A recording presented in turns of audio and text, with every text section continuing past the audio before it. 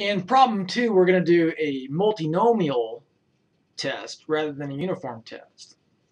The difference between a multinomial test and a uniform test is that for a uniform test, all these percentages are the same. They're uniform. For multinomial test, these percentages here are not the same. So these are the national averages for excellent service, good service, fair service, and poor service, according to Wall Street Journal. And this is for your city that you live in. And you want to know if your city is similar to the national averages. So we're going to copy, which I've already done, this table, table 2, into Excel to compute the expected frequencies to three decimal places. So in part A, the hypotheses for this test are the distribution of customer ratings follows the distribution table 1. For the alternative hypothesis, the distribution of customer ratings does not follow the distribution of table 1. So I've copied the observed frequencies from your city into this table and the national percentages.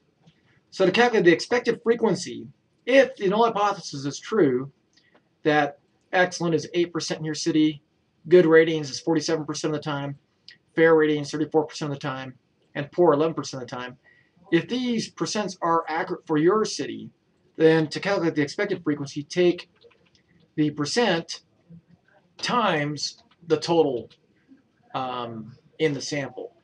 And because we want to freeze cell C17, I'm going to hit F4 here.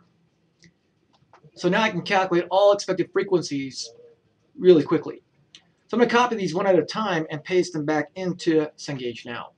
So 22.480, 132.070, 95.540, and 30.910. Now, these are kind of close, right? We're low on both ends and kind of high in the middle. So there is a difference, but is that difference between the excellent ratings we expect from the national averages to the observed frequencies in our city, are those differences large enough for us to reject the null hypothesis here? The sum of expected frequencies is going to be equal to 281. So we're going to type equal sum if we did this right correct? So 281.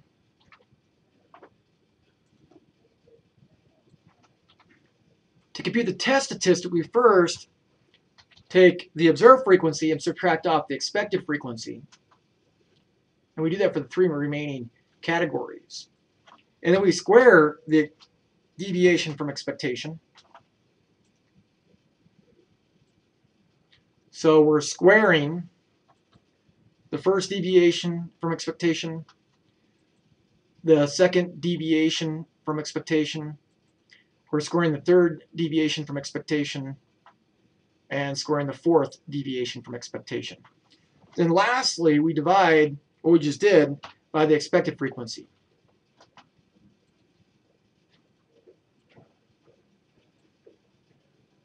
So we divide what we just did by the expected frequency. I'll repeat that three more times. The test statistic is just the sum of that last column. To four decimals is 16.6272. We're going to copy that and paste that into Cengage now.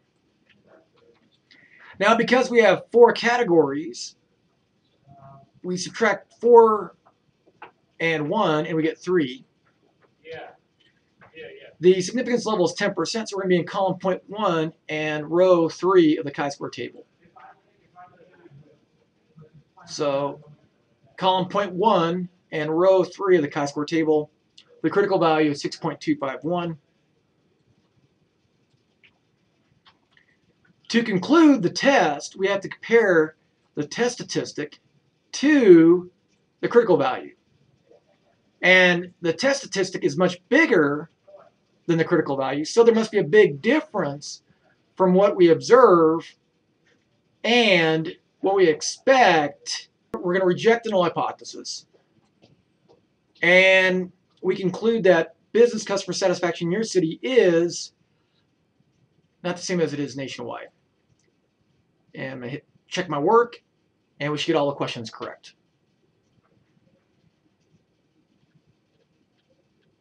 And we do.